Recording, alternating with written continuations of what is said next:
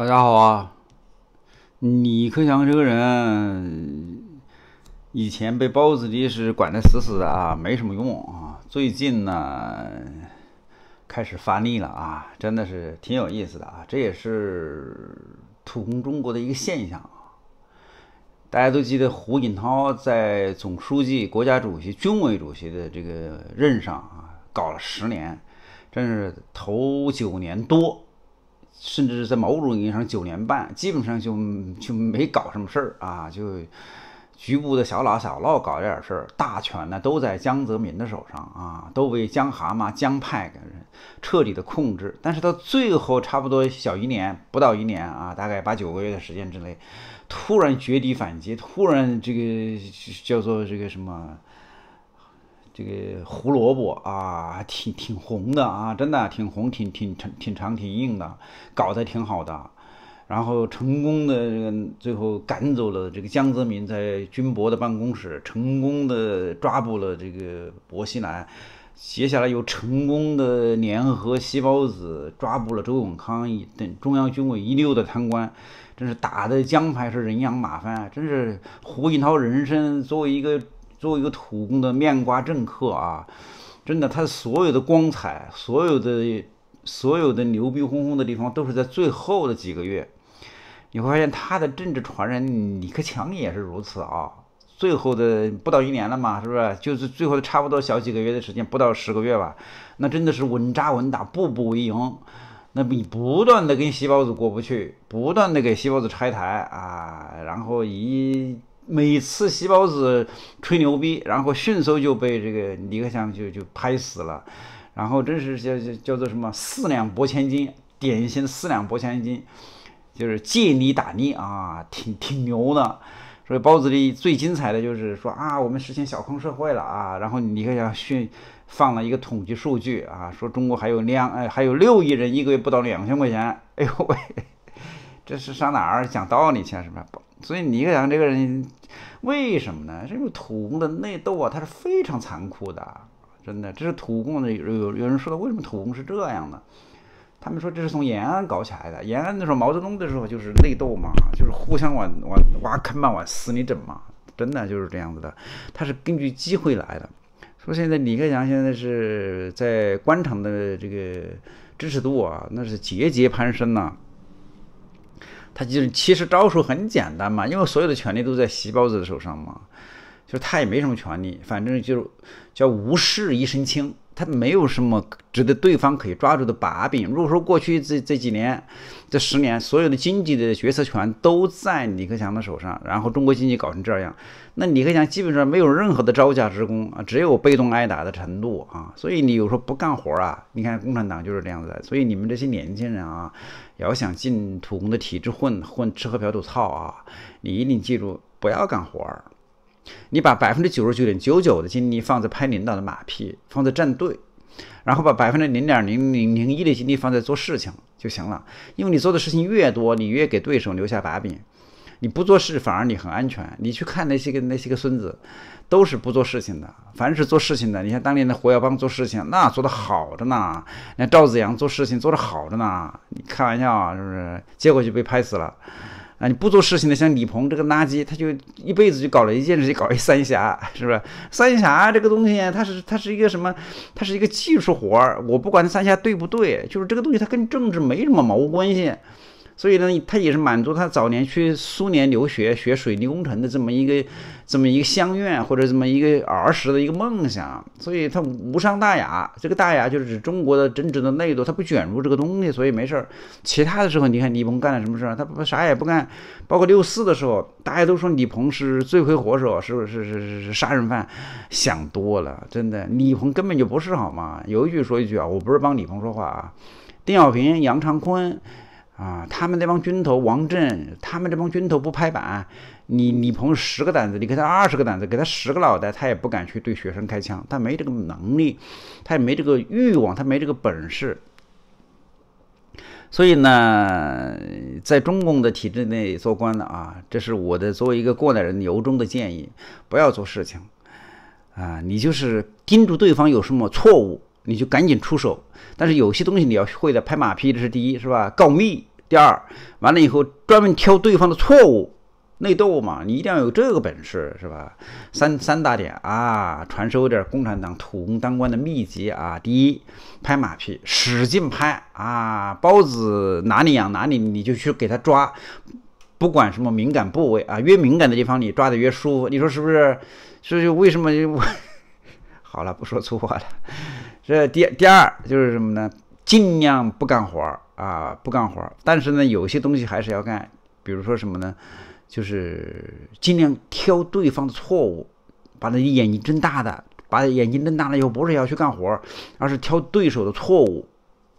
第三，告密，就这么三点，你把这三点搞搞清楚以后，你绝对在共产党体制内混的风生水起。所以李克强也是掌握这套东西的。所以你看现在包子里过去十年全是他干的活嘛，是吧？全是他干的，每一件事情都是统一领导、统一部署、统一指挥。是不是？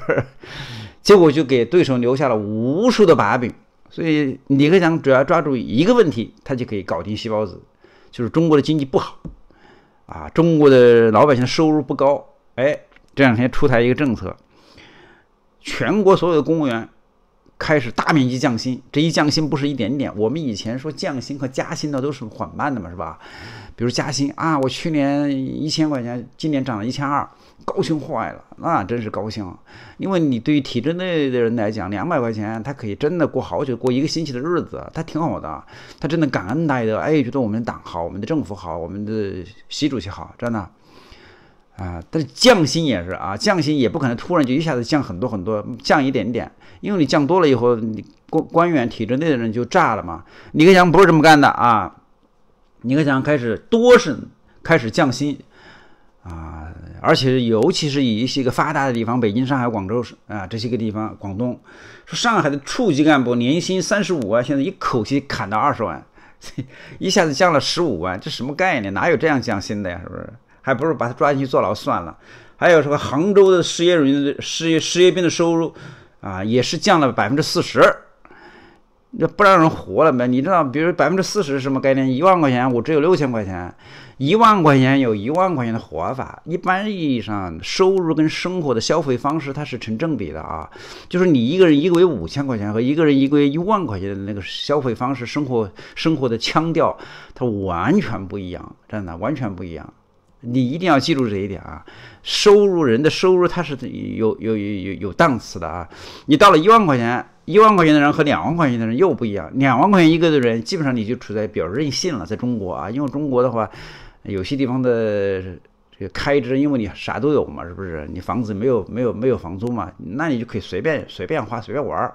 这我是有体会。等到我一个月有了两三万块钱的时候，我发现我就可以去糟蹋钱了。你糟蹋钱，比如说我那个时候，我我大概一个月能够挣到两三万块钱的时候，我就开始糟蹋钱了。干嘛呢？玩车呀。改装件呐，是不是改一个盯着我的车天天研究，给他改一个大包围，给他改一个加一个尾翼，给他改一个什么什么避震什么 KW，什么改给他改一个是是是什么什么什么，呃刹车卡钳红色的，是不是给他改个大轮毂？就搞这些事情，为什么呢？因为你钱多了花不完了，花不完你就开始烧钱造钱了，就是这样子的。那一个月五千块钱的人就是什么呢？就是你必须要，就是你必须要算。不然的话，你这个月你吃饭都是个问题。到了最后几天，你就没钱了。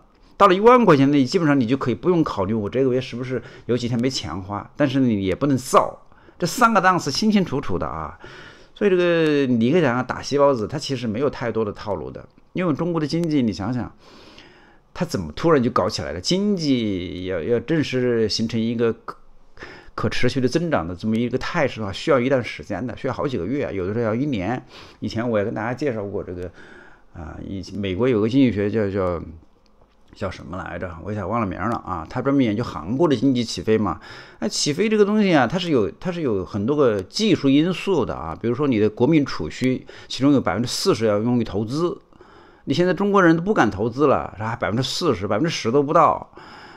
哎，所以有有些很很直观的数据，所以你你说李克强上来就能把经济搞起来，不可能的啊！你不要以为李克强是，你以为他有三头六臂啊，不可能的。但是他可以不断的说经济不好啊，不断的把老百姓的把，尤其是把体制内的官员的薪水降了，让他们恨细胞子呀，这也是经济问题啊。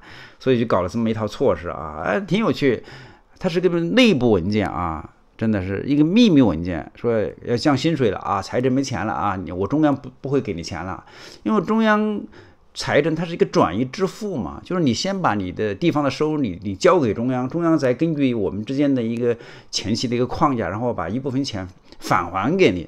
现在中央财政也没钱了，我就不返还给你，或者少还返还给你一部分。